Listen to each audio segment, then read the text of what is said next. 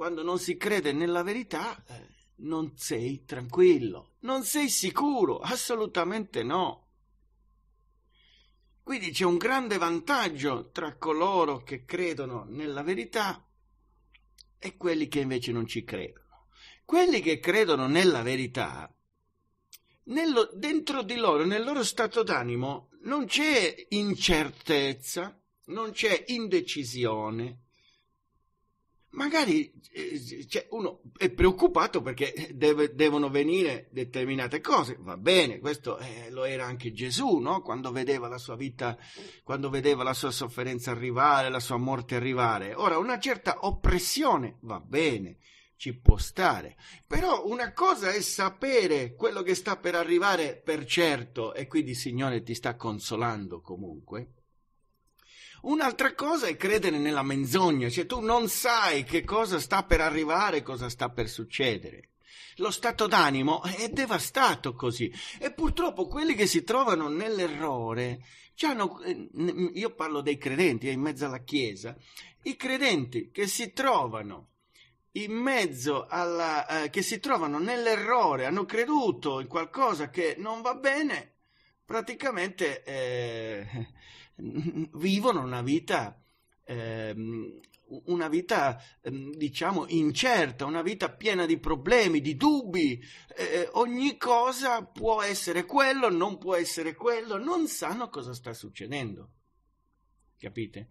Quindi eh, bisogna fare attenzione, vedete come la, la, la, come la conoscenza della verità, della parola, soprattutto della parola, che ci aiuta anche a capire i momenti che stiamo vivendo, ci è di consolazione, ci fortifica, ci rende più forti. La conoscenza non ci fa smarrire, capite? Quando uno conosce la verità, in mezzo alle tenebre tu non ti smarrisci, rimani fermo, sai dove stai andando, capite? È importantissimo tutti quegli insegnamenti falsi che i credenti si sono bevuti. Quando viene il problema, una malattia, un altro problema, ti succede qualcosa, perdi il lavoro, cioè vai nel pallone, non, non, non sai come affrontarlo perché tu pensavi che Dio non ti mandasse mai queste situazioni negative e ti trovi in una situazione negativa. Non la sai affrontare. Questa è l'ignoranza. Capite perché l'ignoranza fa perire? È scritto, no? Che il mio popolo perisce per mancanza di conoscenza. Ma perché uno che non ha la verità, non ha la luce, non, il suo sentiero non è illuminato, sta camminando nelle tenebre e va a finire prima o poi nel burrone, va a finire nel baratro.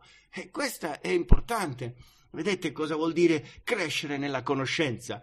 Non è solo una questione che io so di più di te, no, la conoscenza porta il suo beneficio interiormente, non solo porta beneficio che ti fortifica nella fede, ma porta beneficio che sei tranquillo, tu sai dove stai camminando, anche quando il mare è in tempesta, tu ti rendi conto a che punto sei.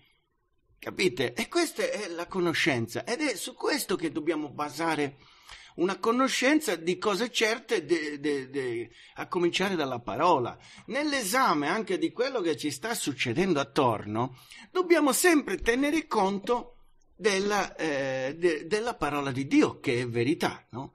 Allora, pu- il punto eh, principale di cui oggi voglio che voi eh, teniate bene conto è questo, che eh, non sta arrivando la, il ritorno di Cristo, ancora non sta arrivando, non si vedono i presupposti di, dell'anticristo, non, è, non, non, viene costruito il Tempio, dopo per, prendiamo i passi della scrittura, non sta, non sta succedendo nulla di tutto questo, è un tempo difficile, un semplice tempo in cui Dio sta punendo gli empi, mettendo alla prova i credenti con questa pestilenza. Che poi sia una pestilenza, come già qualcun altro ha detto, sia una pestilenza mandata da Dio, il virus mandato direttamente da Dio dalle sue mani, o passato attraverso il laboratorio umano, è sempre un virus che Dio ha voluto che ci fosse. Cioè, non è che questo virus è sfuggito e Dio non lo controlla, capite? Il virus fa parte sempre dell'esercito di Dio e colpisce quelli che Dio vuole che vengano colpiti. Chi per provarlo e chi anche per portarlo all'altro mondo, eh? Chi per punirlo? E eh certo, anche la punizione. Ci sono tutti questi elementi che bisogna considerare. Ma tu lo devi sapere perché così sei tranquillo. Se non ti, per, perché tu sei, se non ti deve prendere lo, il virus, ma se ti prende devi esaminare perché. Il Signore mi vuole insegnare qualcosa, il Signore mi mette di più alla prova, o il Signore mi sta punendo, o il Signore mi vuole chiamare a sé con questo virus, che può essere, oggi parliamo di virus, ma può essere qualsiasi altra cosa, qualsiasi altro, altra pestilenza. E giustamente è stato fatto notare, ma badate bene che questi virus ci sono sempre stati. Vi, vi faccio sapere questo. Il, il, la peste, quella del 1300, de, de, de, che si, ha fatto che faceva, quello sì che faceva dei morti ter- tremendi, quel tipo di peste ancora non è scomparsa. I topi riescono ancora a trasmetterla qualche volta a qualche persona. Quindi abbiamo nel mondo, ogni tanto, in qualche parte del mondo, qualche caso di quella peste, magari eh, a contatto con i topi, stati, in qualche maniera viene trasmesso questo, questo non so adesso non so se fossero batte, un batterio o un virus, questo non, non, non ve lo so dire, ma comunque quella, quell'elemento che porta quel germe, che, quel, quella cosa che porta a questa pestilenza c'è sempre stata. E, e Dio ci ha sempre guardati. Ci ha sempre guardati. Tu che ne sai del cibo che, che stai mangiando, se, eh, che viene dalla Cina o che viene chissà da dove, se non era pieno di topi che hanno la peste dentro di loro, ma il Signore ti ha preservato. Eh, perché queste, così stanno le cose. Non è che sono in altro modo. Tu, quando andavi in macchina, quando andavi in moto, io sono sicuro che ah, io, io, a me mi è successo diverse cose in macchina, in moto, in bicicletta. Mi sono successi diversi incidenti quando, anche quando ero incredulo, che se io uh, adesso che, che, so, che il Signore mi ha salvato, mi ha aperto gli occhi, adesso capisco perché non mi sono fatto male. Perché tutto è andato in una maniera impressionante che non è successo nulla. Ve ne, ve ne, ve ne racconto qualcuna da non credente e anche da credente. Allora, quando eh, eravamo in un, in un, Vespone, all'epoca negli anni Ottanta c'era la Vespa e il Vespone. Il Vespone era proprio una moto più potente, no? Moto, un, oggi come li chiamano? E, e, come li chiamano? Comunque, i, motor, i, motorini di adesso, quelli che sono un po' più grandi. Ecco, all'epoca c'era la Vespa e il Vespone. Il Vespone era, era, un 200, 200 di cilindrata, il Vespino era 50, quindi per farvi capire la grandezza. Con quello di 200 correvamo, guidava un mio, mio compagno di scuola, 15-16 anni, eh? correvamo spediti su una strada sterrata. Cosa succede? Ma correvamo veloci.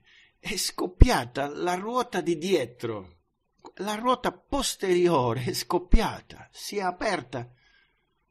Quel vespone lì sbatteva, cioè il controllo non era, umanamente non era possibile tenere il controllo di quel vespone, cioè saremmo dovuti cadere eh, rovinosa, rovinosamente su quella terra, su quella strada sterrata eh, con tutto quello che conseguiva. Eppure non siamo caduti, abbiamo fatto, non so, 100, 150 metri, 200 metri, sballottati a destra e a sinistra in maniera impressionante.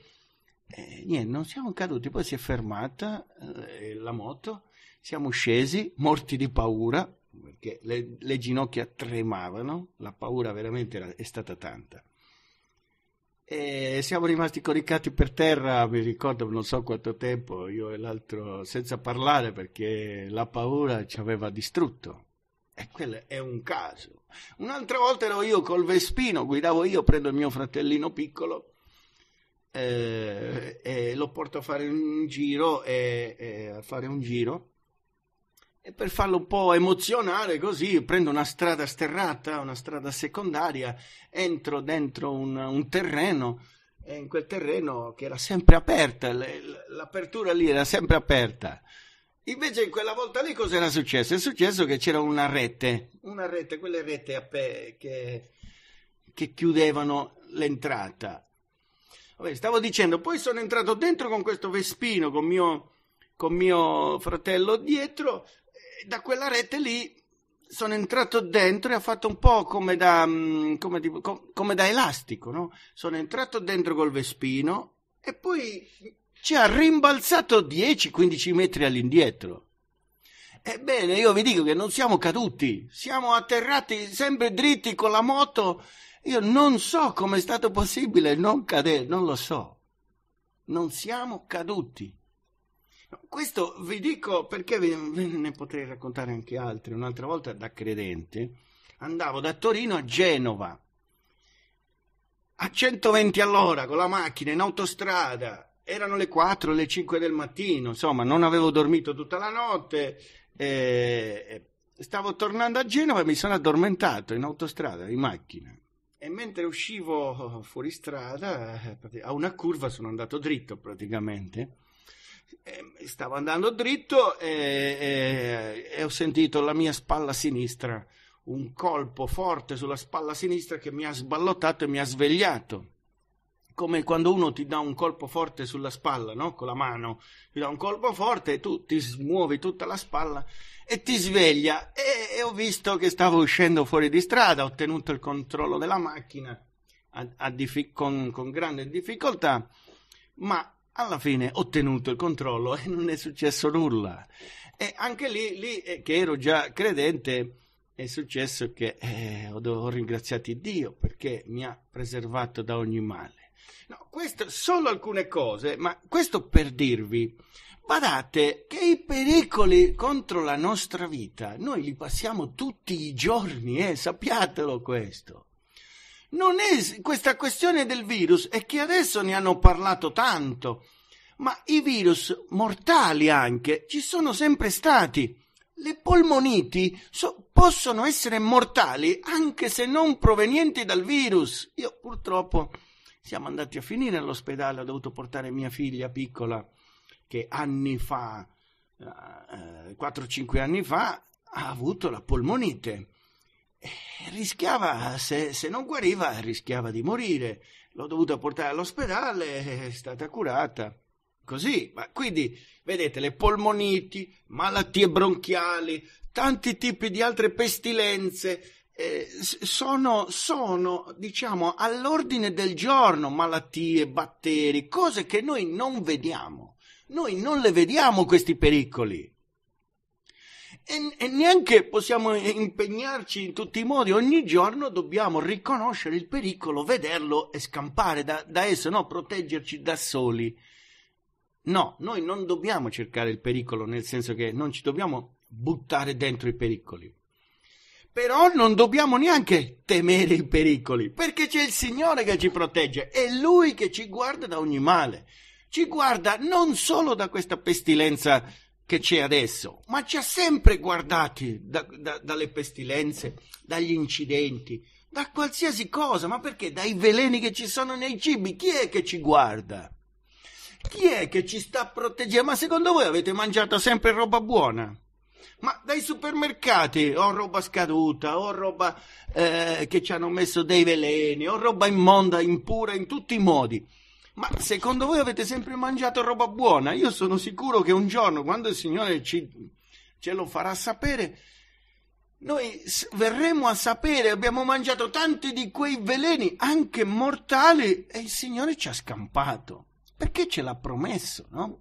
Come dice Marco 16.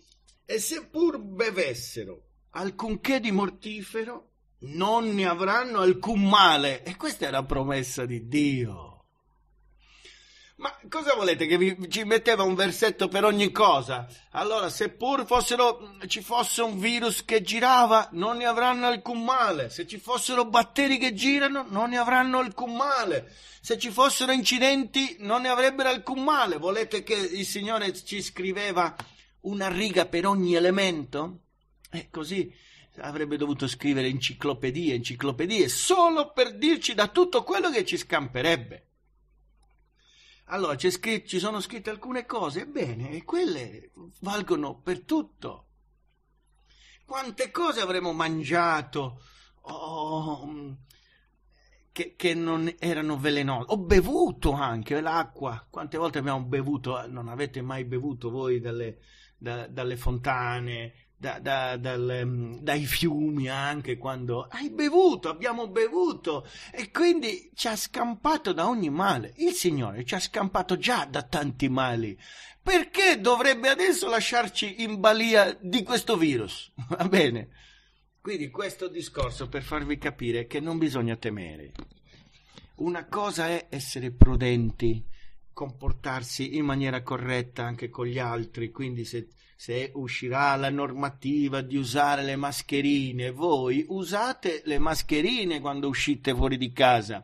Non è una mancanza di fede, è soltanto proteggersi dalla follia de- de- delle persone, perché adesso sta, non so se state seguendo, ma sta scoppiando la follia della gente. Se sei senza mascherina, ti prendono come uno che sta spargendo la malattia e ti si scagliano contro ti si scagliano contro, qualcosa te la dicono, qualcosa te la dicono. Poi ci sono quelli che reagiscono male, come ho visto anche oggi, qualcuno reagisce male, qualcuno... Comunque è la follia, adesso è il tempo della follia. Che cosa produce follia? La follia produce l'incertezza del futuro e la paura, capite? La paura produce un comportamento folle. E questo purtroppo non c'è limite, al comportamento folle della gente non c'è un limite e quindi bisogna stare attenti, bisogna stare attenti, bisogna attrezzarsi. Se adesso uscirà la norma, già adesso io lo consiglio, per protezione propria, ma non dal virus, perché la, la, la, la mascherina non ti protegge dal virus, il virus entra e va dappertutto ma gli altri li fa stare tranquilli, agli altri fa stare tranquilli, cioè tu sei tranquillo che gli altri non ti guardano male e gli altri sono tranquilli perché ti vedono con la mascherina. Ma scusa un po', ma se Paolo ha detto che se eh, mangiare carne scandalizzava il debole, non avrebbe mangiato carne.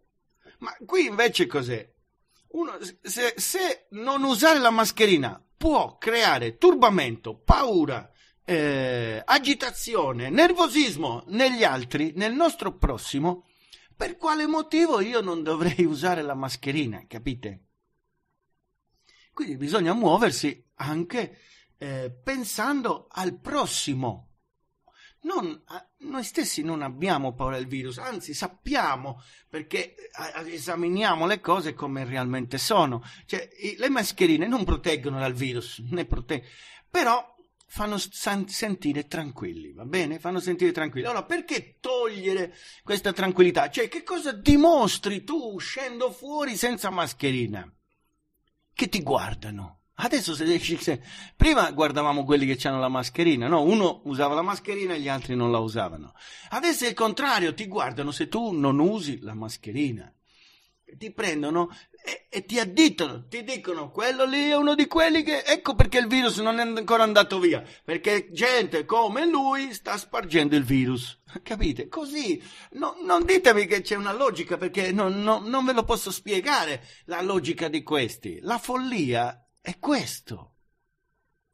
Ma questo ci deve far insegnare, ci deve insegnare a comportarci in un certo modo perché magari in, in futuro ci potrebbero essere maggiori cose più gravi anche, capite? Quindi noi dobbiamo adattarci a non farci, a non esporci a situazioni gravi, non al virus, ma a situazioni gravi, a non farci parlare contro. Perché la gente viene, ti dà un ceffone che tu non c'hai la mascherina, eh, che fai? Gliela restituisci? E te, pre- e te, lo sei meritato pure alla fine, capisci? Perché poi te lo meriti anche, perché tu non hai portato rispetto alla loro paura, attenzione, alla paura del debole. Quindi è conveniente, è conveniente com- comportarsi in, una, in, un certo, eh, in, un certo, in un certo modo.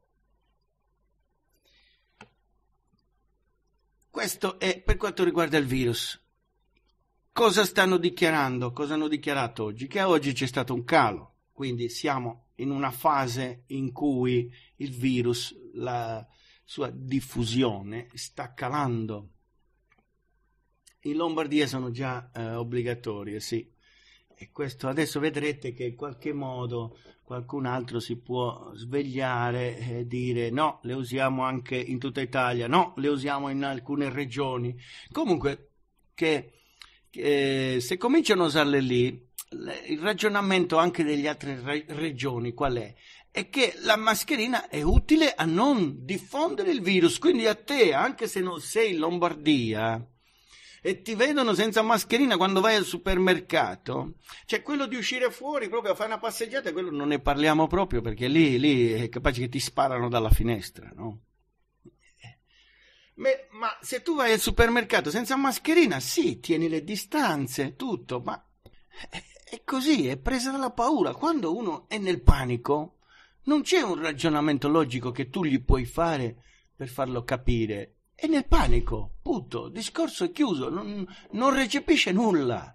Allora tu, che non sei nel panico, ti devi adeguare. Capito? Ma non alla, al suo panico e alla sua paura però farlo sentire il più tranquillo possibile.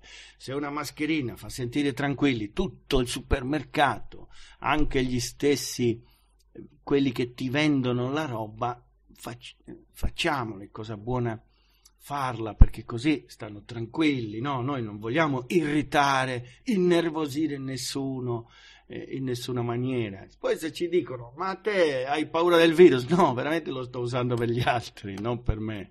Se gli altri sono più tranquilli così, noi lo usiamo. Ma tutto qua. Io, poi sappiamo bene, lo dicono gli scienziati stessi, che le mascherine non servono a proteggersi dal virus. Ci sono quelli.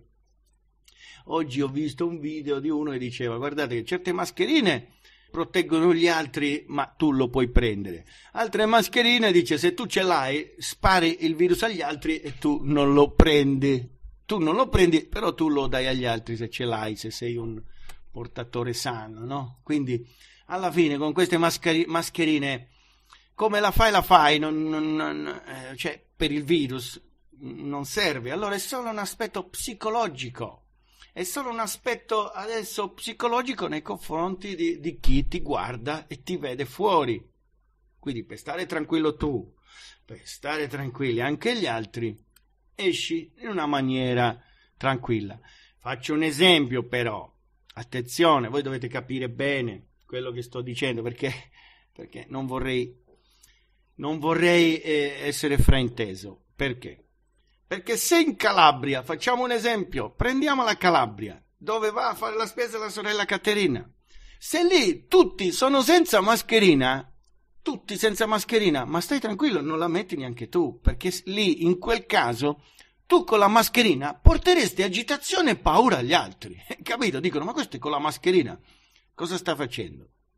Allora, in quel caso è il contrario, in quel caso è il contrario, perché noi stiamo, stiamo parlando dell'aspetto psicologico, quello che scatta nella testa della gente se uno ha la mascherina, gli altri ti prendono, se, se, nessuno la usa nel paese, ti vedono a te con la mascherina, dicono che tu sei malato.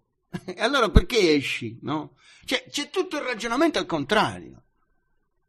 Se invece sei a Milano e usano tutti la mascherina e tu sei l'unico senza mascherina, allora lì ti prendono a te che stai diffondendo il virus, capite? Quindi bisogna muoversi con intelligenza in Campania, in Sicilia, se vai in un supermercato dove non ce l'ha nessuno la mascherina, perché ancora non è obbligatoria in effetti, se non ce l'ha nessuna e tu la usi, tu crei disagio agli altri. E purtroppo è così.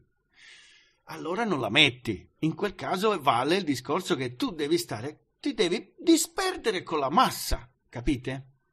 Perché la diversità, la diversità crea psicosi, crea panico, crea agitazione.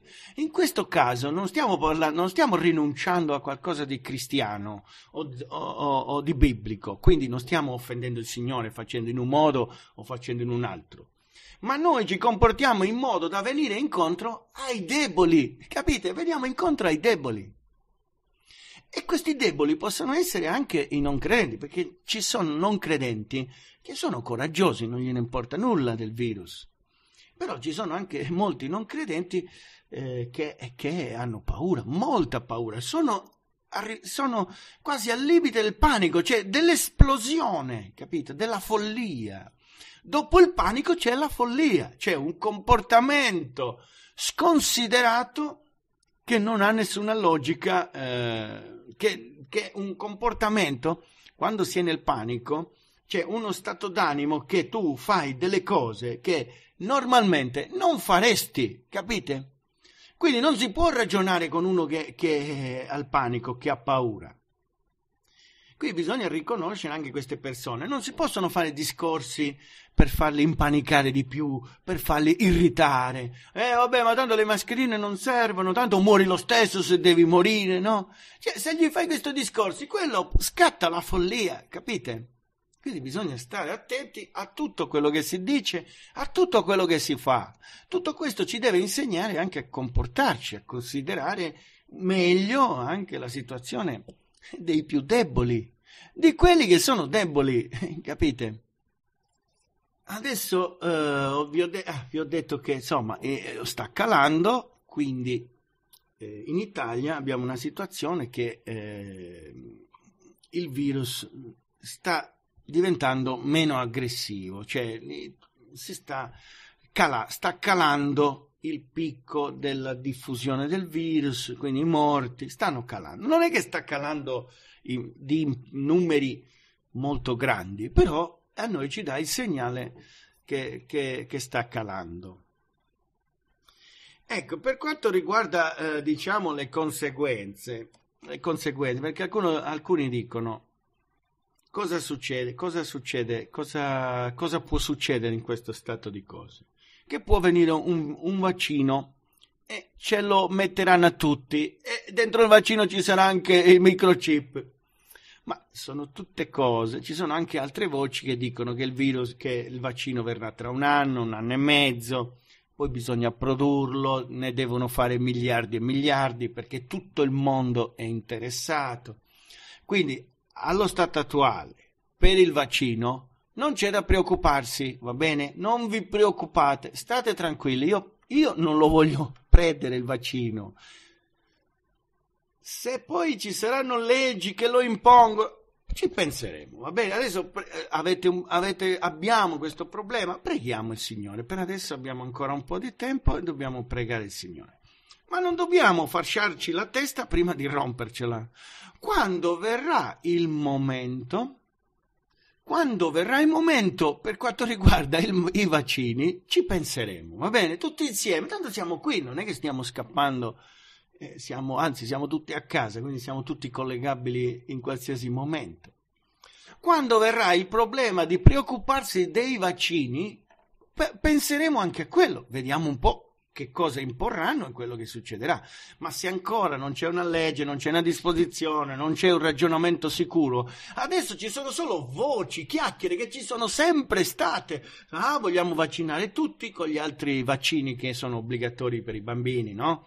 Vogliamo vaccinare tutti, vogliamo vaccinare un certo numero di persone. Cioè, questo, questi ragionamenti ci sono sempre stati, ma finché non diventano un pericolo reale ed effettivo, è inutile che io mi, mi, mi fascio la testa perché ancora non c'è questo pericolo, non c'è. Ve lo ripeto ancora, non c'è quel pericolo vaccino.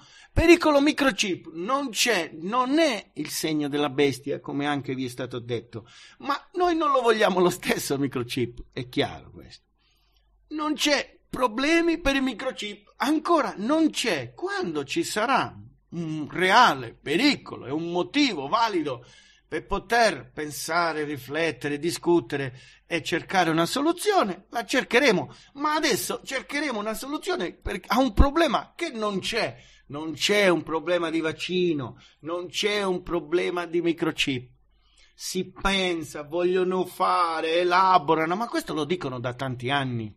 Cioè, non è un problema che sorge adesso questo di vaccinare più gente possibile, indebolirla, farla ammalare, ucciderla, è una cosa che c'è sempre stata, tanti decenni già che cercano di muoversi in questa maniera. Quindi non sta cambiando nulla dal punto di vista vaccinale.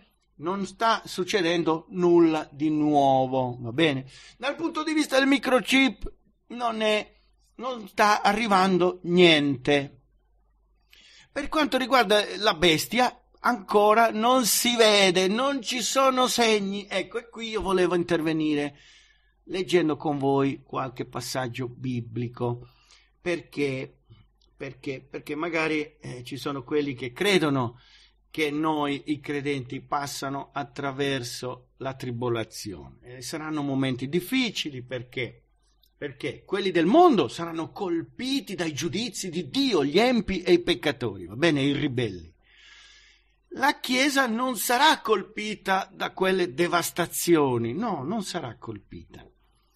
Però il Dio ha stabilito che eh, chi governerà in quel periodo, in quel momento, cioè l'anticristo, metterà, perseguiterà e metterà a morte molti, non tutti, ma molti della Chiesa saranno perseguitati e messi a morte. E questo lo dobbiamo dire perché è così. Però, guardando quello che sta succedendo, ci stiamo avvicinando? Questa è la domanda.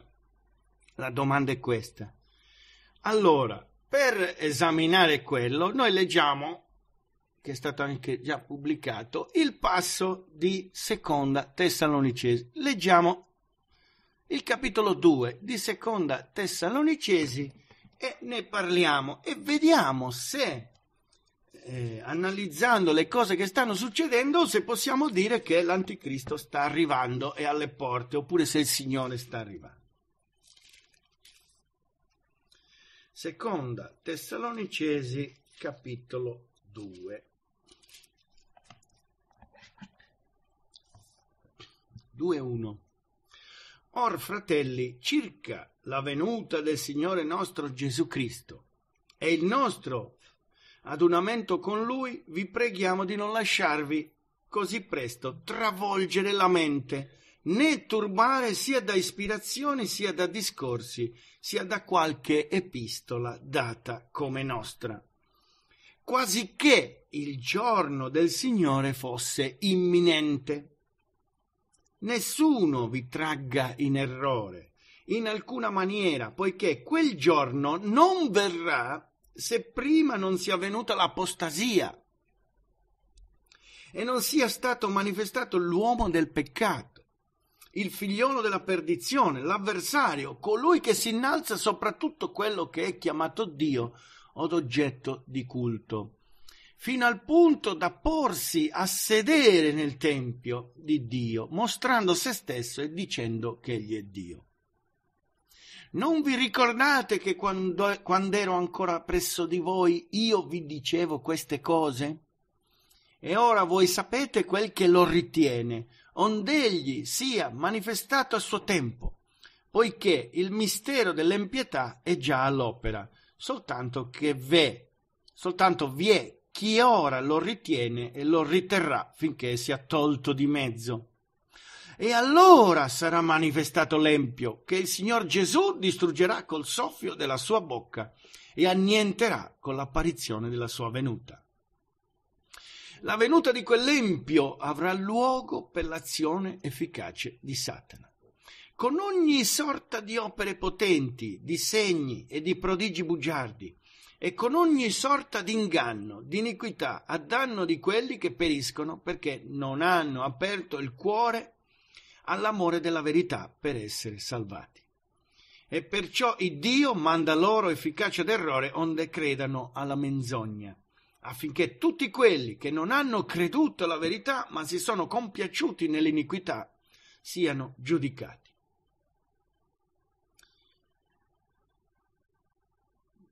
Per ora basta così, capitolo 2. Guardate cosa dice Paolo. Cosa era successo? Quello che, che stiamo vivendo noi, o meglio, quello che stanno vivendo alcuni credenti, vabbè, anche noi, perché indirettamente anche noi, ogni volta che c'è un evento catastrofico, funziona così, che c'è una parte della Chiesa, perché i non credenti lasciamoli un attimo stare, ma una parte della Chiesa cosa fa? dice che sta per tornare il Signore. Perché? Perché in qualche maniera c'è qualcuno che vuole sfruttare la paura dei santi per piegarli alla sua volontà. Capite? Quando una persona ha paura si aggrapperebbe a tutto, crederebbe a tutto. Basta che gli dai un messaggio che più o meno può essergli utile, va bene? E allora sfruttano questo momento di stato d'animo dei fratelli. Cos'era successo? Anche a Tessalonica, anche ai tempi di Paolo, era successa una cosa simile. A Tessalonica stavano dicendo che la del Signore era imminente. Cioè, cosa vuol dire imminente? Vuol dire che è proprio alle porte. Cioè, che sta a venire veramente da un momento all'altro. Questo vuol dire. I tessalonicesi si trovavano in questa situazione. Cioè, c'era lì du- eh, c'era una parte della Chiesa, perché sicuramente non erano tutti, infatti dal parlare di Paolo, no? quando al versetto 5, 2.5 dice, non vi ricordate che quando ero ancora presso di voi io vi dicevo queste cose? Quindi quello che Paolo disse per iscritto in quell'epistola, già l'aveva insegnata a voce.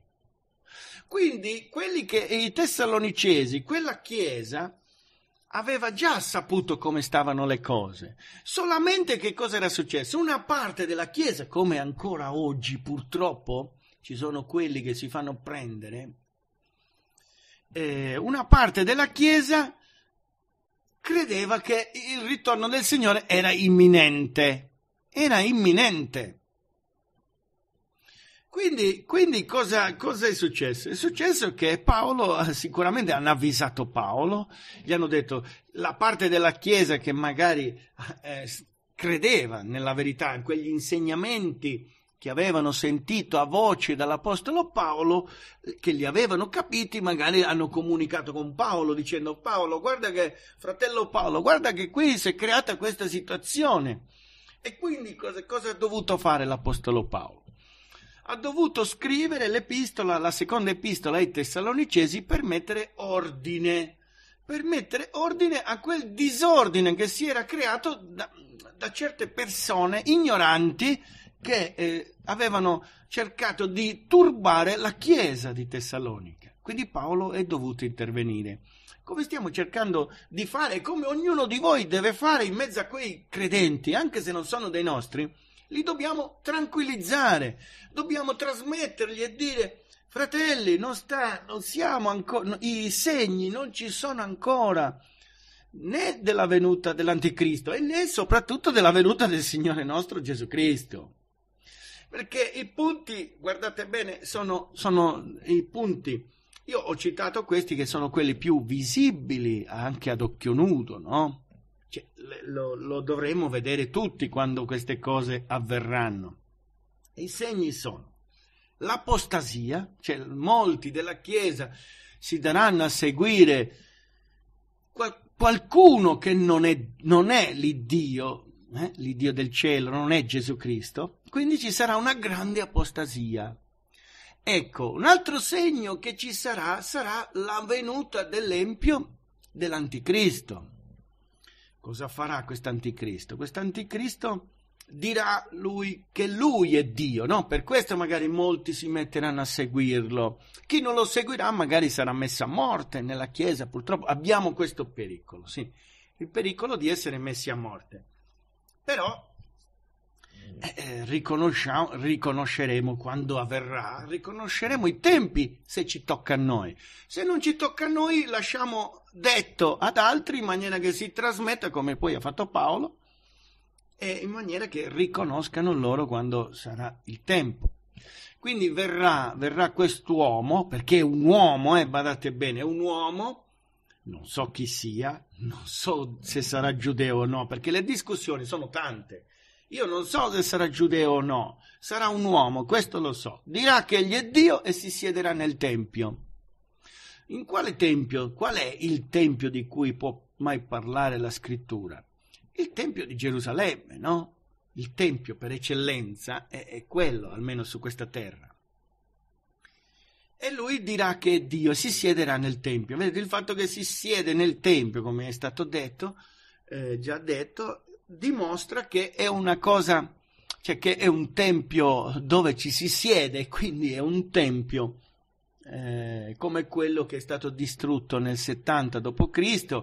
e come quello che aveva costruito Salomone. È un Tempio fatto di mattoni, di, di, di, di tutti quei materiali col quale si costruisce un, uh, un tempio. Quindi sarà un vero e proprio tempio fatto da mani d'uomo. E in quel tempio si siederà questo anticristo che dirà che egli è Dio. Va bene? Ecco, queste dobbiamo puntualizzare, dobbiamo concentrarci sulle cose certe, su quello che i nostri occhi riusciranno a vedere Mm, più facilmente possibile. Per quanto riguarda le pestilenze, carestie e guerre, questo me lo dovete riconoscere, ci sono sempre stati. Più o meno devastanti, quello che c'è adesso non è neanche così devastante come i precedenti. Quindi come fa? In precedenza ci sono state pestilenze, carestie, terremoti e ci saranno ancora, ma ci saranno ancora pestilenze, carestie, terremoti e guerre, va bene? Ci saranno guerre vicine, guerre lontane, ma non, queste cose qui, il Signore ci ha detto che ci saranno, ci devono essere, ma non sono l'elemento che ci fa pensare o capire che sta per arrivare eh, l'anticristo o il Signore. No, non sono questi gli elementi. Questi elementi il Signore ha detto che ci sarebbero stati e ci saranno. Forse saranno più devastanti quando si avvicinerà il momento di, il momento di, di, eh, de, de, della venuta dell'Anticristo o della venuta del Signore. Può darsi, però intanto questi non sono così devastanti, cioè questo lo riusciamo a capire, che questa pestilenza non è così devastante da dire che chissà che pestilenza è sta facendo un po' di morti come negli anni precedenti ci sono stati per, per le influenze. Questa è un po' più, diciamo, aggressiva, è scattato l'allarme, è più un movimento, diciamo, eh, dell'uomo, è più la paura dell'uomo che, che l'aggressività vera e propria di questo, di questo virus. Quindi non possiamo prendere i virus o terremoti per, come elemento per dire che sta venendo il, che, che il Signore sta per tornare o, o che sta per venire l'anticristo. No? Perché dico queste due cose? Perché noi, noi credenti che crediamo che il rapimento segreto non esiste, dice aspettiamo la venuta dell'anticristo prima della venuta del Signore.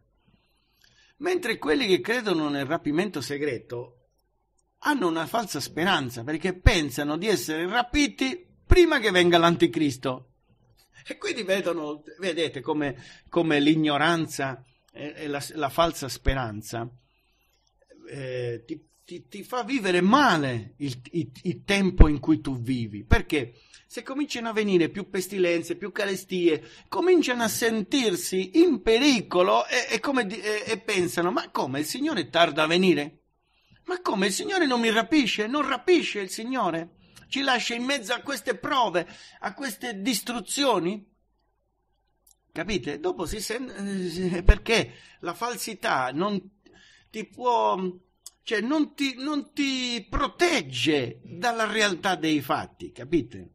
La realtà dei fatti che accadono accadono, non importa quello che tu credi, accadono perché devono accadere così. Se tu sei pronto, puoi anche reagire nella maniera corretta. Se tu non sei pronto alla realtà dei fatti, reagisci male, non sai come reagire.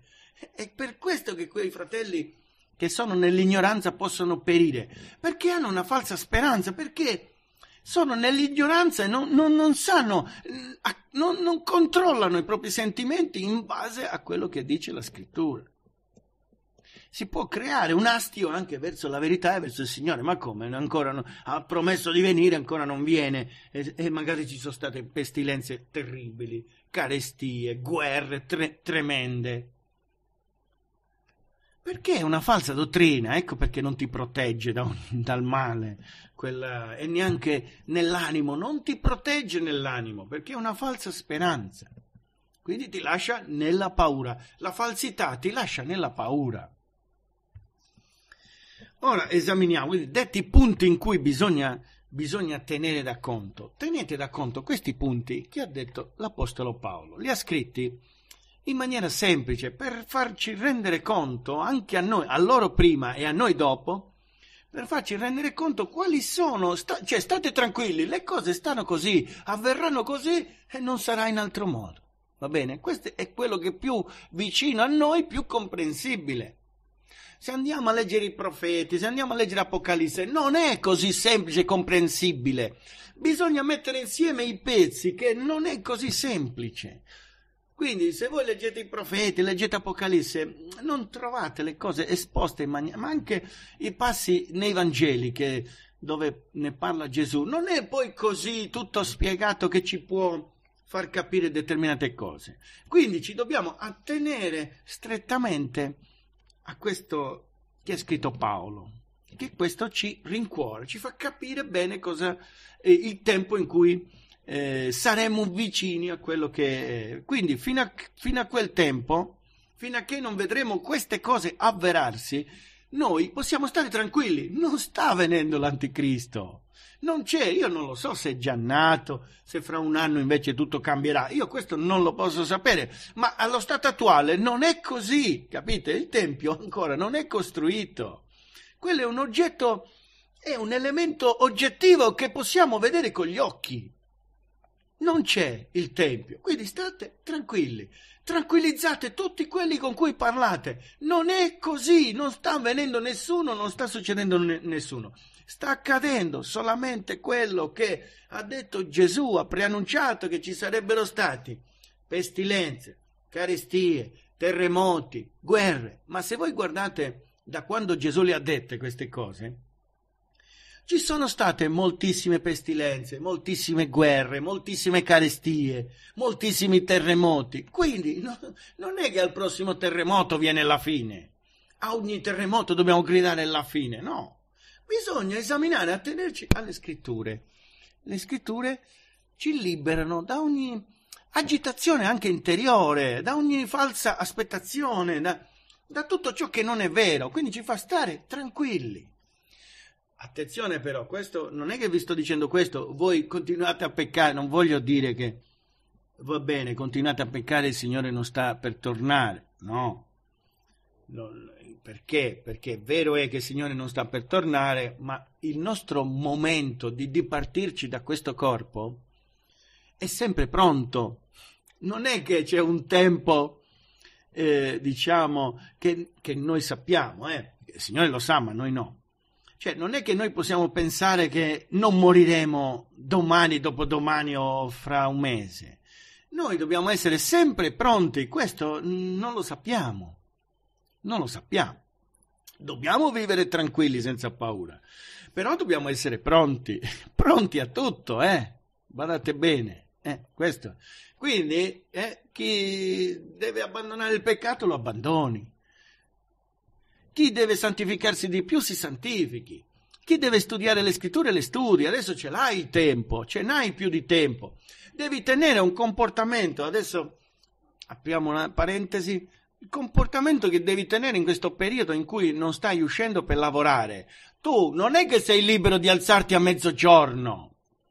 Tu non è che sei libero di alzarti all'una, alle due, eh, fai quello che vuoi. Tu sei, devi tenere un comportamento, diciamo, come piace al Signore. Quindi bisogna alzarsi alle ore eh, stabilite, pregare, cantare al Signore, studiare le scritture, dedicarti al Signore. Non è che puoi fare, vabbè, adesso dedico tutto il tempo che ho e, e mi sistemo il garage, mi pitturo casa, cose che sicuramente devi fare, non è che non le devi fare.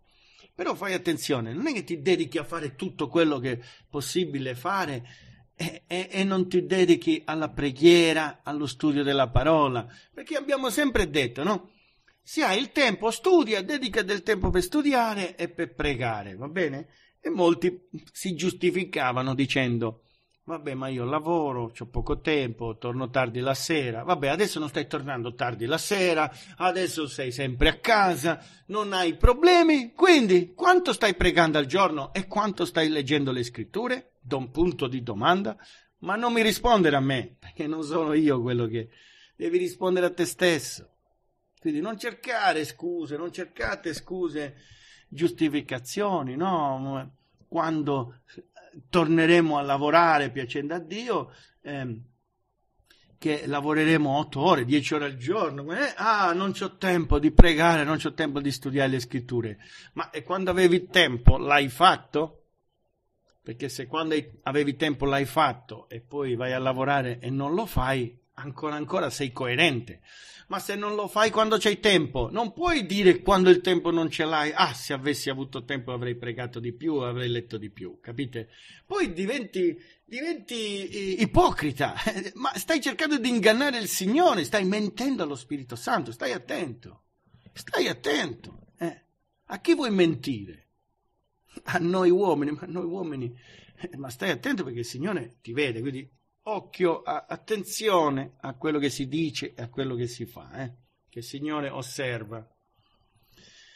Ora, veniamo quindi ai punti, questi sono i punti che ha citato Paolo e a questi ci dobbiamo attenere. Esaminiamo bene cosa ha detto Paolo. Dice così.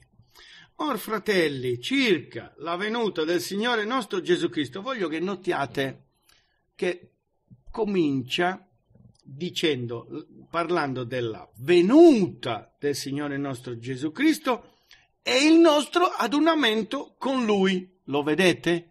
Ah, vi esorto naturalmente a aprire la Bibbia di carta e guardare quel versetto perché vi deve rimanere impresso lì sul punto in cui c'è nelle sacre scritture di carta, perché lì lasciate stare l'informatica, quando è possibile usate le sacre scritture di carta. Bene, quando scapperemo dall'anticristo non dovremo averlo il cellulare, non dovremo avere il computer perché saremo intercettati. Quindi se tu hai sempre letto dal computer, come poi potrai leggere dalla carta? Capite? Ti può aiutare il computer e il cellulare, ma non può sostituire la Bibbia di carta, va bene? Chiaro questo concetto? Cioè, eh, non, non, devi essere di quelli che dice ah, ci stanno infilando il microchip e poi non stai producendo la reazione eh, necessaria per contrastare questa storia del microchip. Cioè, gridi sempre al microchip, ma non studi nella Bibbia su carta, ti stai contraddicendo, perché tu sai che il cellulare è intercettato, i microchip ci vogliono infilare per intercettarci, siamo intercettati in tutti i modi, non te li puoi prendere quando scappi, non te li puoi prendere quegli oggetti informatici. Quindi almeno la Bibbia te la devi portare. Io almeno la Bibbia me la voglio portare. È l'unica cosa che mi consolerà. Capite? Quindi attenzione, usate la Bibbia su carta. E sulla Bibbia su carta, leggendo al capitolo 2, versetto 1 di seconda Tessalonicesi, poi leggere informaticamente io lo trovo freddo, non riesco neanche, a me mi piace molto toccare la pagina, mettere le dita, le mani sulle pagine della scrittura, tenere la Bibbia in mano, a me è una cosa che mi piace, mi dà soddisfazione. Sì che la leggo anch'io al cellulare quando ho bisogno, il computer, ma certamente però non può mai sostituire la lettura su carta. Or fratelli dice circa la venuta, quindi sta parlando di che cosa? Quando parla di questi segni, Gesù di che cosa parla? Perché noi dobbiamo sempre tenere conto, purtroppo, che ci sono anche quelli del rapimento segreto. Quindi dobbiamo districarci in, in mezzo tra la realtà e le false dottrine. Ci muoviamo in questo contesto, va bene? Ora, cosa dice? Dice circa, quindi Paolo, Paolo sta mettendo chiarezza, sta portando dei chiarimenti a riguardo della venuta del Signore nostro Gesù Cristo e il nostro adunamento con Lui. Va bene? due cose, ritorno del Signore e il nostro adunamento con Lui. Qui Paolo presenta queste due cose non separatamente, ma le presenta che avvengono in un solo giorno. Va bene? Infatti più avanti c'è scritto al versetto 3. Poiché quel giorno non verrà, che cosa avverrà? Cioè, a quale giorno si riferisce? Al giorno in cui avverrà il, la venuta del Signore nostro Gesù Cristo e il nostro adunamento con Lui. Avverranno lo stesso giorno. Quindi non sono due giorni diversi come dicono quelli che credono nel rapimento segreto. Vedete come Paolo mette ordine? Ah, mette ordine quando parla Paolo. Quando parlano i falsi, i falsi predicatori, i falsi pastori, mettono disordine, non ordine, capite? Invece Paolo mette ordine, dice quel giorno non verrà il giorno del nostro adunamento con lui, il giorno del, della venuta del Signore nostro Gesù Cristo. Il, il nostro adunamento con lui è il rapimento della Chiesa. Praticamente il rapimento seg- segreto, perché la, allora, il rapimento segreto è sbagliato solo nella parola segreto, perché il rapimento della Chiesa ci sarà, quella la crediamo, no? Crediamo tutti al ritorno del Signore i morti in Cristo risusciteranno e, e, e, sarà, e, loro, e, col corpo, con le anime si congiungeranno al corpo e, e il corpo andrà a incontrare Gesù nell'aria. Questo avverrà, il nuovo corpo glorioso. E questo è l'adunamento della Chiesa con Cristo nell'aria, va bene? E quando avverrà questo adunamento? Ma quando viene il Signore nostro Gesù Cristo? Non è che può venire in un altro momento. Alla venuta, alla sua venuta. Qui Paolo dice che avverrà in un unico giorno la venuta del Signore nostro Gesù Cristo e il nostro adunamento con Lui. Il nostro, vedi, dice anche Lui sarà adunato. Capite? Si include anche l'Apostolo Paolo. Questa è la premessa, no? per dire Paolo sta portando chiarezza su questi elementi. Poi dice, inquadra, dopo inquadra la situazione, cioè cosa stava succedendo a Tessalonica, ai credenti di Tessalonica. Dice, vi preghiamo di non lasciarvi così presto travolgere la mente, né turbare sia da ispirazioni, sia da discorsi, sia da qualche epistola data come nostra, quasi che il giorno del Signore fosse imminente. Praticamente cos'è successo? In qualche maniera, in qualche maniera, di cui Paolo qui fa, eh, fa una distinzione di, di, di, di, modi con cui sono stati portati, eh, è stata portata una falsità in mezzo a quella chiesa. Cioè, quella chi- alcuni di quella chiesa, io non credo tutti, ma alcuni di quella chiesa credevano che il ritorno del Signore fosse imminente, cioè alle porte, stava per venire oggi, domani, stanotte, capite? Allora sì, quelli credevano in quella maniera. Notate che è la stessa falsità che alcuni di oggi predicano col rapimento segreto?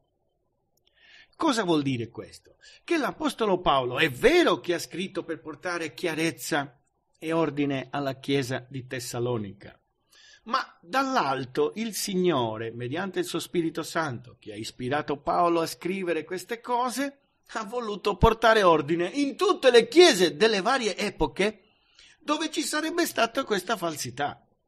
La stessa falsità, non un'altra, la stessa falsità. E oggi c'è questa falsità. C'è questa falsità che viene predicata, cioè viene predicata la falsità che il ritorno del Signore è imminente. Ma no, Paolo dice che ci devono essere dei segni ben precisi prima che sia imminente il ritorno del Signore. Quindi non possiamo noi assolutamente, assolutamente pensare che, che eh, sia così, perché non ci sono gli elementi, non, ci, non sono ancora avvenuti i fatti in maniera precisa come li ha descritti l'Apostolo Paolo.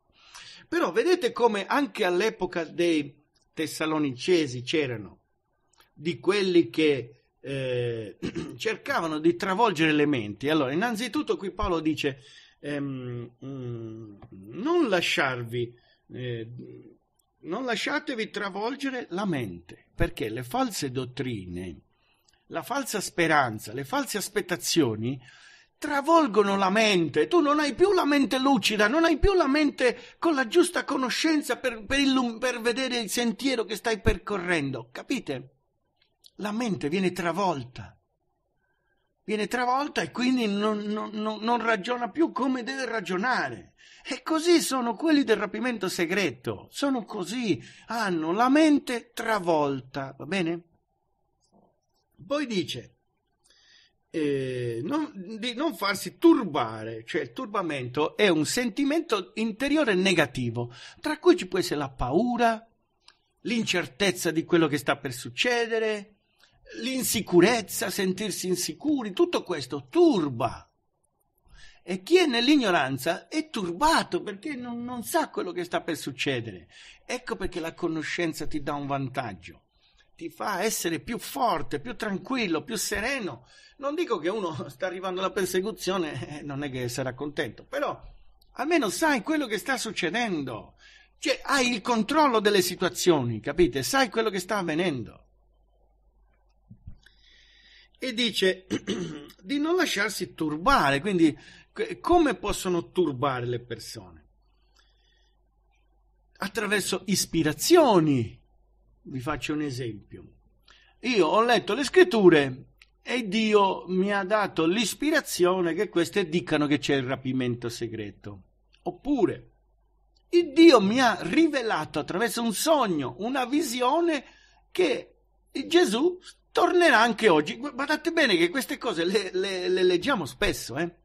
Leggo spesso, io ogni tanto, ogni tanto vedo qualche testimonianza di qualcuno che dice che il Signore Gesù è apparso a qualcuno, bambini magari anche, che dicono che di prepararsi, che il Signore sta arrivando, ma sono sempre solamente ispirazioni di quelle che diceva l'Apostolo Paolo. È vero che il Signore tornerà, ma non, st- non è alle porte. Quindi quando dicono che sta per tornare e a breve tornerà, cioè nel senso che qualche giorno o, o qualche tempo, non è vero, non è possibile, non è biblico. Ci sono dei segni, segni che ha detto l'Apostolo Paolo, che ancora si devono avverare, quindi non è biblico. E allora, quindi vedete, sia da ispirazioni, sia da discorsi.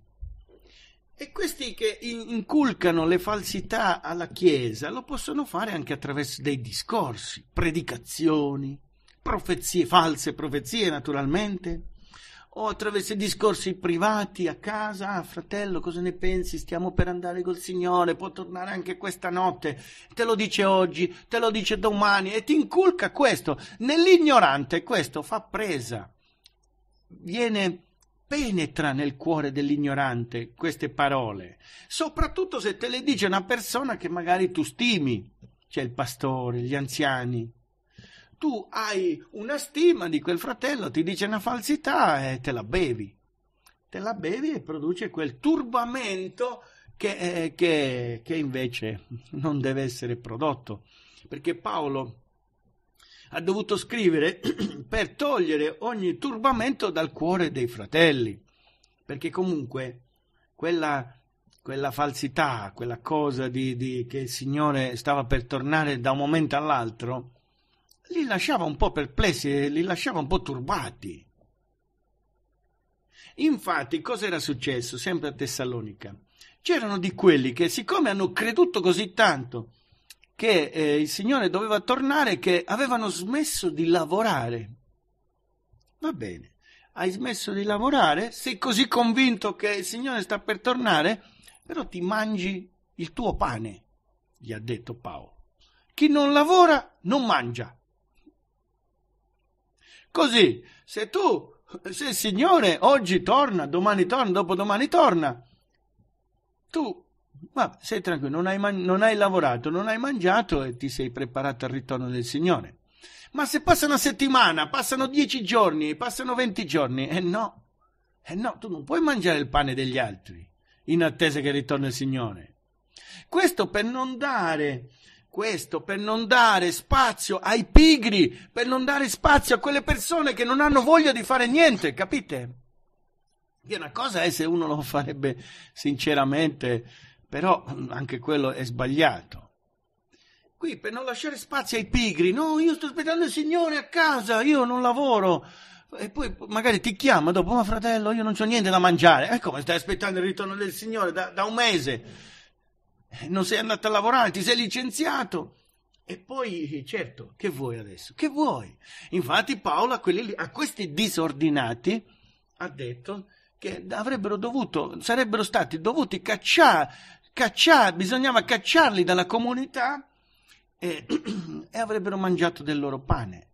E così si imparano a non dare retta alla parola, capite? Cioè, vedete come se uno dà retta alle falsità può rimanere, eh, può rimanere ingannato e subire delle cose gravi. Le può subire. Non è uno scherzo eh, essere nella falsità credere in certe false dottrine. Ma è per questo che insistiamo sempre di studiare la parola, di attenersi solo a quello che è scritto, perché le falsità portano dei danni nella mente, nel cuore e nel comportamento dei credenti, purtroppo. Portano dei danni, non è solo una conoscenza sbagliata che tanto non fa danno, no. I danni sono molti. Alcune dottrine false ti menano anche in perdizione e ti menano anche in perdizione.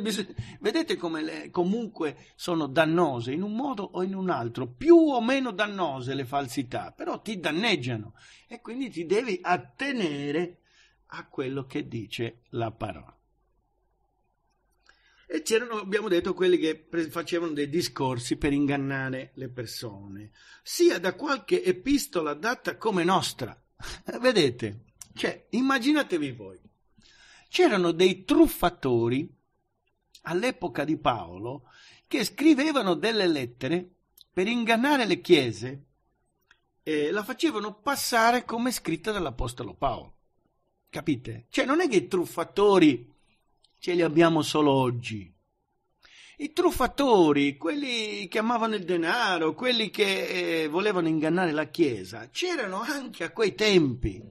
E guardate che inganno che facevano. Facevano passare determinate epistole come se le avesse scritto l'Apostolo Paolo. E quelli sono ingannatori. Ecco perché bisogna stare attenti, capite? Oggi che cosa abbiamo? Cosa abbiamo di simile oggi? Abbiamo il Vangelo di Giuda, abbiamo i Vangeli di qua, il Vangelo di là, abbiamo il Vangelo di Barnaba, abbiamo gli scritti, tanti scritti che vorrebbero inserirli nelle sacre scritture, non, come dire, non li ha scritti Paolo, però li ha scritto un altro profeta, li ha scritti alt- altri credenti, altri uomini di Dio, con, in, cercando di introdurre nella Chiesa delle falsità, capite? E quindi noi invece, grazie al lavoro fatto da Giovanni, al lavoro fatto eh, dal, dall'Apostolo Giovanni, perché fu lui che raccolse tutti gli scritti del Nuovo Testamento, grazie al lavoro, diciamo, attento della prima Chiesa che controllava gli scritti se erano veramente eh, ispirati da Dio oppure no. Grazie anche allo Spirito Santo che ci guida, ci fa capire che tutti i libri comunque che leggiamo noi, soprattutto nel Nuovo Testamento, eh, eh, sono comunque tutti collegati assieme e non si contraddicono capite? Sono tutti che si spiegano l'un l'altro, quindi è arrivato a noi un nuovo testamento eh, perfetto, preciso, non c'è bisogno di altro. Io quei pochi che ho letto, che erano dei libri che volevano farli entrare nel canone biblico, eh, li ho letti qualcuno, non tutti, ma qualcuno l'ho letto e vi dico che non erano ispirati, si sentiva mentre lo leggevi si contraddivano, non erano accuratamente precisi storicamente, non erano non era parola di Dio, ma, ma, lo capisci, lo si vedeva. Ed è per questo che la Chiesa, che era comunque guidata dallo Spirito Santo, la Chiesa antica, la prima Chiesa, ha rifiutato quegli scritti, non ha preso altro se non quelli che noi oggi abbiamo nella nostra Bibbia di 66 libri. Non è la Bibbia cattolica, è la nostra Bibbia evangelica con, con il canone biblico, che non, non ci sono discussioni per quanto riguarda i libri del Vecchio Testamento, che viene accettato anche dalla Bibbia ebraica. Magari ci sono un po' più di problemi per quanto riguarda il Nuovo Testamento, ma noi abbiamo fede in Dio che se il Signore ha voluto che si scrivessero questi, queste epistole, questi scritti, li avrebbe poi avrebbe anche fatto in modo che sarebbero arrivati a noi in maniera fedele, non perfetta come la lingua originale, eh, perché qualche defezione c'è sempre, ma serve anche quella, perché comunque devi stare attento a tutto sempre. Ma comunque è arrivata a noi qualcosa che, di cui noi ci possiamo fidare, che non ti porta comunque in perdizione. O comunque se c'è un errorino, riesci attraverso la somma della parola a capire che quella cosa lì è sbagliata. E ci arrivi, ci arrivi, anche senza conoscere il greco, eh? Anche senza conoscere il greco. Comunque, per tornare a quello che diceva Paolo, vedete come Paolo eh, mette in guardia contro i truffatori che dicevano che c'erano, de, eh, che, eh, c'erano di quelli che facevano girare delle epistole come se le avesse scritte Paolo. Il senso di queste falsità che cosa avevano portato? Perché questo è per questo motivo che Paolo sta scrivendo. Cioè, tutte queste falsità avevano portato alcuni della chiesa di Tessalonica a credere che il giorno del Signore era imminente, cioè alle porte, stava per venire oggi, domani, stanotte. E invece non era così.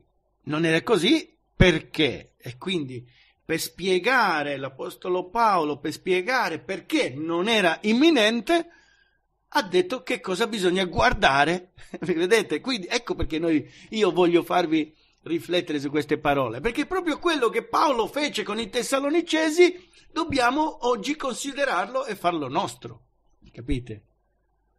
E soprattutto presentarlo a quelli che non sono sicuri, che sono ingannati come lo erano i tessalonicesi. Alcuni dei tessalonicesi, perché non credo che tutti fossero ingannati. e dice, quali sono? Ah, poi dice, nessuno vi tragga in errore in alcuna maniera. Eh sì, perché quelli che vogliono trarre, quelli che vogliono trarre in errore la Chiesa, in diversi modi, in diverse maniere, e sono tanti, purtroppo, sono tanti. Adesso il nostro problema, il nostro pericolo, il, il nostro timore, non il nostro pericolo, il nostro timore maggiore qual è? È che noi diciamo, siete liberi, no? Io dico ai fratelli, voi siete liberi, voi andate in giro, leggete, guardate i video che volete, studiatevi tutto quello che volete. Però il mio timore qual è? Il mio timore è che leggendo alcune cose che eh, ti ingannano, possono riuscire a imbrogliarti perché eh, magari non ha, uno non ha una conoscenza sufficiente di tutta la somma della parola per potersi difendere su tutti gli argomenti, perché su quelli che citiamo più spesso magari riuscite a difendervi perché vi ricordate, avete letto la parola, la Bibbia, vi ricordate, ma ci sono altri argomenti, ci sono altri argomenti che purtroppo magari non, o se ne è parlato magari poco o, ne, o, non se ne è parlato mai e quelle vi possono ingannare. Quindi io dal mio punto di vista, oh, uno, i credenti sono liberi e eh, fanno quello che vogliono, liberi nel Signore, cioè non è che sei libero di peccare quando e come vuoi, questo no, questo lo imponiamo e non vogliamo assolutamente che si faccia il male. Però se uno, uno, è libero di andare a leggere e a fare quello che vuole, però ci sono delle cose, soprattutto dottrinali, che ti possono ingannare. Quindi lì c'è un pericolo, va bene? C'è un pericolo. E questo era il timore che aveva anche l'Apostolo Paolo. Infatti gli dice il desiderio della speranza dell'Apostolo Paolo. Nessuno vi tragga in errore in alcuna maniera. Cioè, eh, questa è la nostra speranza, il nostro dolore, il nostro, il nostro timore è che alcuni fratelli, ma purtroppo ne abbiamo persi anche in mezzo a noi. Eh?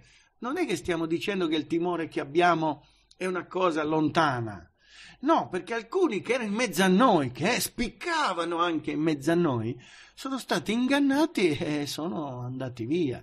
Ma non è tanto importante che uno rimanga con noi. E l'importante è che non abbandoni l'importante è che non abbandoni la verità della parola, capite? Quello è importante. Uno dice, vabbè, ma non frequento la conferenza. non è quello l'importante, è che tu rimanga in comunione con Dio e attaccato alla, alla verità della parola, e questo è importante.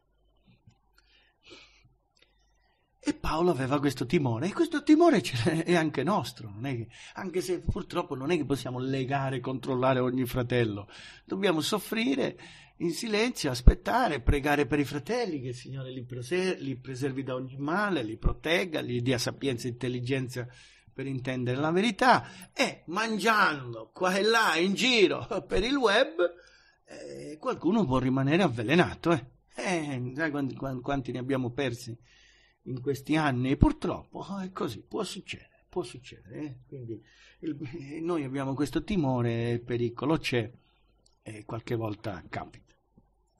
Però attenzione, voi fate in modo che non capiti, va bene, ma non tanto che non capiti perché dovete rimanere miei fratelli in comunione con me, ma che non capiti che vi allontanate dalla verità. Capite? Questo è importante. Poi potete anche non, non, non, non frequentarmi più per dire a me o a... non è quello che vi salva, vi salva la verità vi salva quello che c'è nella parola, è quello che vi libera e vi fortifica e vi sostiene. Però purtroppo io lo so, è sempre successo così. Chi si allontana da noi non si allontana perché noi abbiamo la faccia antipatica, si allontana perché non sopporta più la dottrina, capite? Cioè, il senso è quello, non si allontanano perché eh, noi abbiamo eh, eh, una faccia non simpatica, si allontana perché, perché non sopportano più la sana dottrina, capite? E allora se non la sopportano più è chiaro che si sentono stretti in mezzo a noi e spariscono. Eh, ed è la dottrina che rinnegano, non è tanto noi. e dobbiamo sempre pregare giustamente che, di rimanere attaccati alla fedel parola, non alle chiacchiere, ma alla fedel parola. Poi dice Paolo, poiché quel giorno, lui dice, non, non fatevi ingannare, perché non mi devo fare ingannare? Che cosa devo considerare io per non farmi ingannare in questo argomento di cui si sta parlando? Cioè dell'adunamento, del momento in cui ci sarà la venuta del Signore e il nostro adunamento con Lui. E lo dice Paolo, poiché quel giorno non verrà se prima, e quindi quel giorno verrà solo dopo che si saranno verificati questi due elementi, questi due fatti che sono che sia venuta l'apostasia, ma sarà un'apostasia che sarà visibile, capite? Non sarà un'apostasia che qualcuno abbandona la verità, no, sarà un'apostasia di gruppo, sarà una grande apostasia, sarà una cosa molto visibile, particolare. E quello è cosa vuol dire apostatare? Vuol dire smettere di seguire il Signore e seguire un altro, un altro Dio. Smettere di seguire Dio e di seguire invece un altro Dio. Questa definizione dove la leggiamo?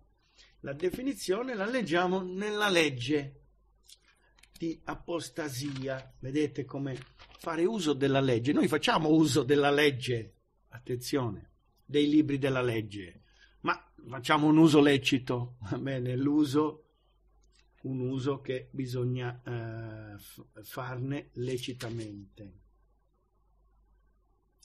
Capitolo 13 di Deuteronomio, quindi qui noi usiamo la legge, sto usando la legge adesso non per imporre la legge, ma perché la legge, andando a leggere questo passo, eh, ci fa capire cosa vuol dire apostatare da Dio eh, dal punto di vista biblico, quindi non ce lo stiamo inventando noi.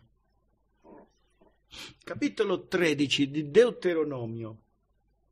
Quando sorgerà in mezzo a te un profeta o un sognatore che ti mostri un segno o un prodigio e il segno o il prodigio di cui ti avrà parlato succeda, ed egli ti dica andiamo dietro a dei stranieri che tu non hai mai conosciuto e ad essi serviamo. Tu non darai retta alle parole di quel profeta o di quel sognatore, perché l'Eterno, il vostro Dio, vi mette alla prova per sapere se amate l'Eterno, il vostro Dio, con tutto il vostro cuore e con tutta l'anima vostra seguirete l'Eterno, l'Iddio vostro, temerete Lui, osserverete i Suoi comandamenti, ubbidirete alla Sua voce, a Lui servirete e vi terrete stretti. E quel profeta o quel sognatore sarà messo a morte perché avrà predicato l'apostasia dall'Eterno, dal vostro Dio, che vi ha tratti dal paese d'Egitto e vi ha redenti dalla casa di schiavitù per spingerti fuori dalla via per la quale l'Eterno, il tuo Dio, ti ha ordinato di camminare. Così toglierai il male di mezzo a te. Vedete? Guardate che sono importanti questi versi. Infatti noi sappiamo che l'anticristo verrà e avrà, gli sarà data la potenza di Satana e ci sarà anche il falso profeta da notare il profeta che qui farà segni e prodigi e si possono anche avverare, dice qui, avete letto, no?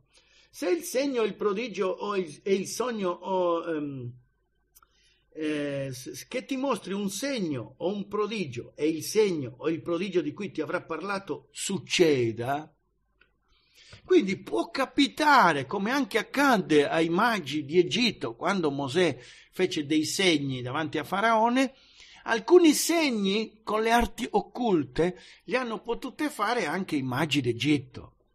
Così verrà anche l'anti- l'anticristo supportato dal falso profeta eh, e faranno dei, dei, segni, dei prodigi bugiardi, ma li faranno. E questi segni perché, li, perché li faranno? Per ingannare più gente possibile e farli seguire una via diversa da quella che, seguiva, che i cristiani seguono seguono una via che serve, diciamo, per servire il Signore Gesù Cristo, per servire Dio Padre. Ecco, da questa via, eh, con l'apostasia, si viene portati da un'altra parte. Cioè tu segui una via, con l'apostasia non, non, segui più quella via, ma ne segui un'altra. Non stai adorando e servendo più il Dio, l'Iddio della Bibbia, ma stai adorando e servendo un altro Dio praticamente. E questo potrà avvenire, questo inganno, anche con segni e prodigi bugiardi, capite? Che inganneranno le persone. Quindi così avverrà l'apostasia. Questa è l'apostasia, cioè tralasciare il servizio e il culto all'Iddio della Bibbia per seguire un altro che non è l'Iddio della Bibbia, è un'altra cosa. Ma allora noi a che cosa ci dobbiamo attenere? Ma se io non conosco le scritture, vi faccio un esempio. Uno dei grandi inganni che sta attuando il maligno nelle chiese qual è? Se ha messo dei falsi predicatori, questi falsi predicatori non stanno insegnando la verità della parola di Dio, non stanno insegnando l'Iddio della Bibbia. E questo lo vediamo chiaramente perché perché non credono che Dio punisca, non credono che Dio metta alla prova, non credono in tante cose che sono scritte. Quindi i, i, quindi i credenti che seguono certe denominazioni, certe comunità, in che stato sono?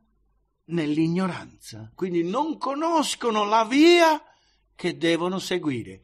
Di conseguenza, quando verrà la, il falso profeta, l'anticristo, sarà più facile per loro dire segui questa via perché Dio è qui, seguendo questa via tu.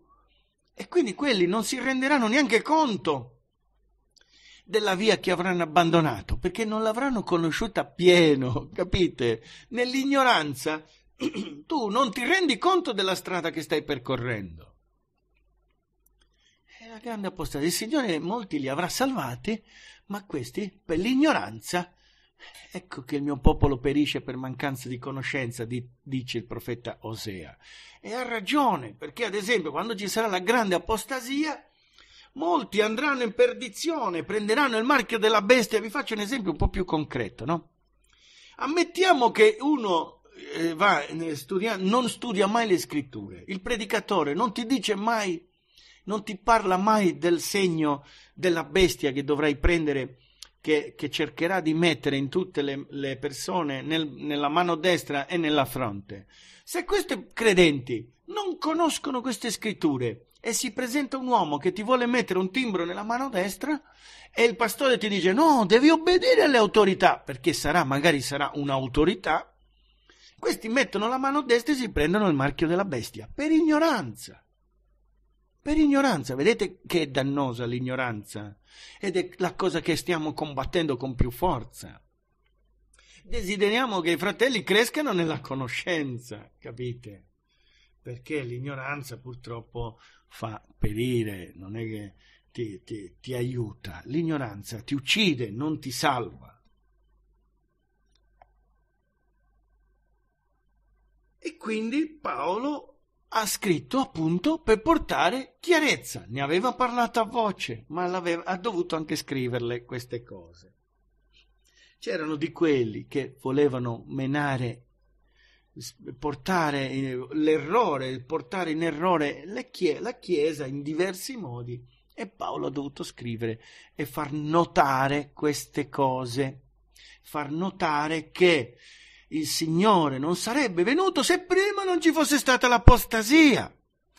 E se non ci fosse venuto l'empio, l'uomo del peccato, l'anticristo colui che dirà che egli è Dio e proferirà parole altissime, parole eh, eh, grandissime. Lui sarà qui, sarà là. Ricordatevi ci saranno segni, prodigi che saranno fatti, bugiardi. E dirà: Io sono Dio. E si siederà nel tempio. E se è Dio, sarà, vorrà essere adorato, no? Noi cosa sappiamo? Sappiamo che noi non dobbiamo adorare nessun altro se non Gesù Cristo è il, è il Padre. Questi dobbiamo adorare. Gli altri noi non ci dobbiamo chinare, inginocchiare, adorare, baciare la mano, servirli, no, assolutamente no.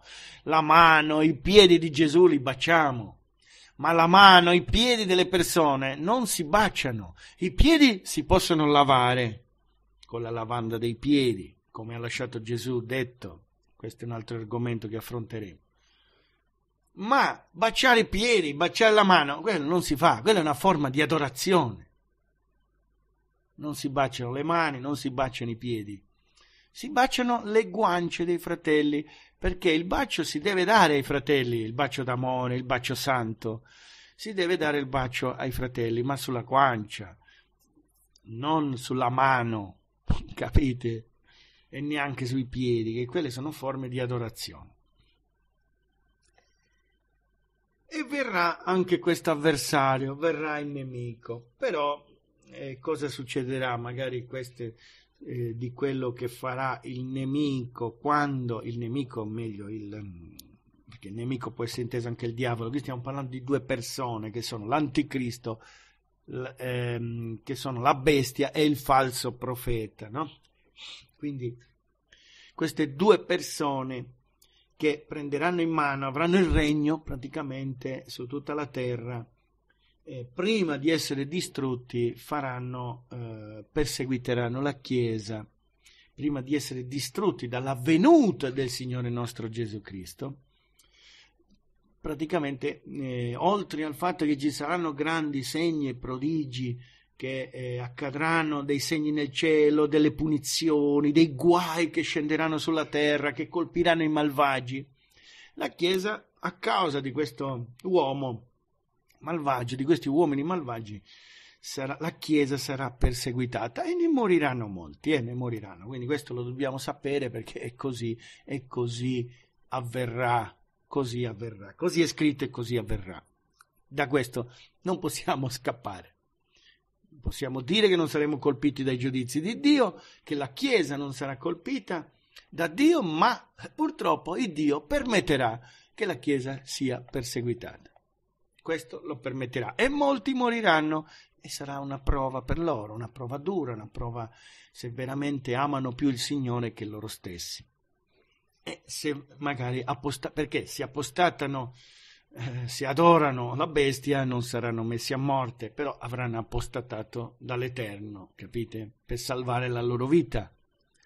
E quindi, ora, se le persone hanno, fanno fatica, le sorelle ad esempio, fanno fatica a mettersi un velo in testa per obbedire a Dio, figuriamoci se mettono il collo per farselo tagliare. Eh, questo sia chiaro che chi non fa una cosa è impossibile che, che riesca a fare l'altra. E quindi capite che la situazione è, questa. Quindi concentriamoci per terminare, per terminare, perché le cose da dire sui, sugli eventi futuri, ce ne sono tanti altri, eh, non è che abbiamo smesso, però volevo che voi vi concentriate su questo, perché? Perché non dovete tim- temere, non dovete avere paura, non, se non succede questo, le cose che sono scritte qui, a capitolo 2 di seconda Tessalonicesi, il Signore non sta tornando non è tempo che il Signore torni, perché così stanno le cose, così è scritto. Quando si sarà costruito il Tempio di Gerusalemme, quando vedremo la grande apostasia e si vedrà l'Anticristo, guardate bene che sono cose queste che quando si verificheranno noi non avremo dubbi, cioè si verificheranno e saranno visibili a, tutti praticamente, eh, capite? Quindi non vi preoccupate, quando ci saranno queste cose che si avvereranno, noi le capiremo bene, non è che ci sfuggirà qualcosa. Quindi finché se abbiamo il dubbio, eh, sappiate che allora non stanno avvenendo. Quindi, quindi state tranquilli, continuate ad andare avanti col Signore, eliminate il più possibile l'ignoranza nella conoscenza della parola, perché la conoscenza vi proteggerà da ogni male, vi manterrà saldi nella via del Signore.